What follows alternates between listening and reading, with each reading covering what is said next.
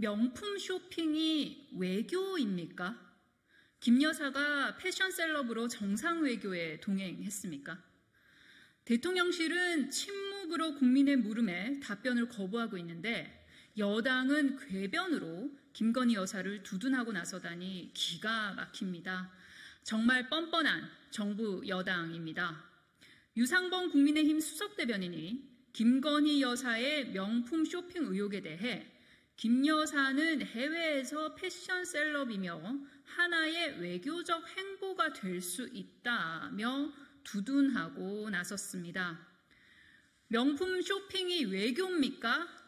올해의 막말로 선정될 만한 최악의 막말을 여당의 입이라는 수석 대변인이 하다니 기가 막힙니다. 김 여사가 패션 셀럽으로 정상 외교에 동행했습니까? 살다 살다 대통령 영부인이 해외 명품 쇼핑으로 외교 행보를 한다는 이야기는 처음 들어봅니다. 쇼핑도 외교라면 외교의 산물인 쇼핑 물품을 들고 귀국하시지 에코백은 왜 들었냐고 묻고 싶습니다.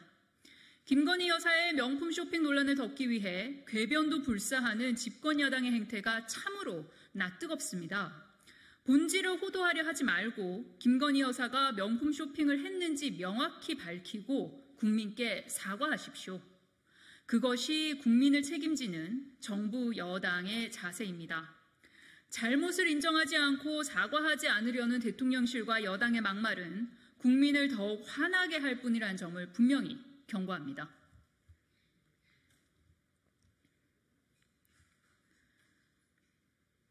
대통령 부인의 명품 쇼핑 의혹에 답하길 거부하는 대통령실. 정말 뻔뻔한 정부입니다.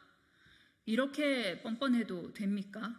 대통령실이 김건희 여사의 명품 쇼핑 의혹에 대한 해명 요구를 정쟁으로 치부하며 거부했습니다. 국민의 알 권리를 이렇게 당당하게 무시하는 정부는 처음입니다. 역대 정부 가운데 이렇게 국민의 물음에 답하길 거부하는 뻔뻔한 정부는 없었습니다. 각국 정상들의 치열한 외교 현장에 동행한 대통령 부인이 국가 공무원인 경호원들을 대동하고 명품 매장을 다섯 곳이나 둘러보며 쇼핑을 했다는 의혹이 제기됐습니다. 이에 대한 사실관계를 밝히라는 것이 어떻게 정쟁입니까? 국민의 물음에 답하는 것이 정부의 최소한의 도리 아닙니까?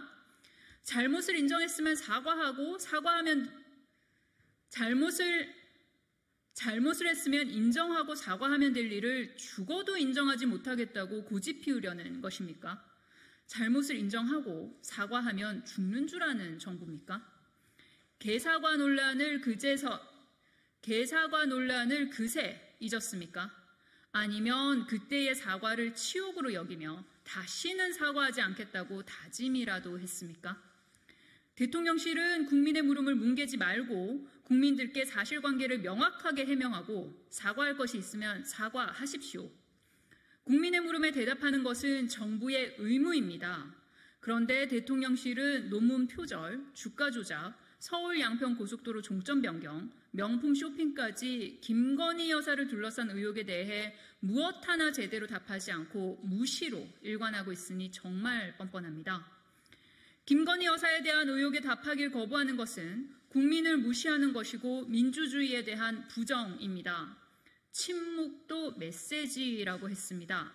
대통령실이 끝까지 답하지 못한다면 그것이 국민의 물음에 대한 명확한 답변이 될 것임을 분명히 경고합니다.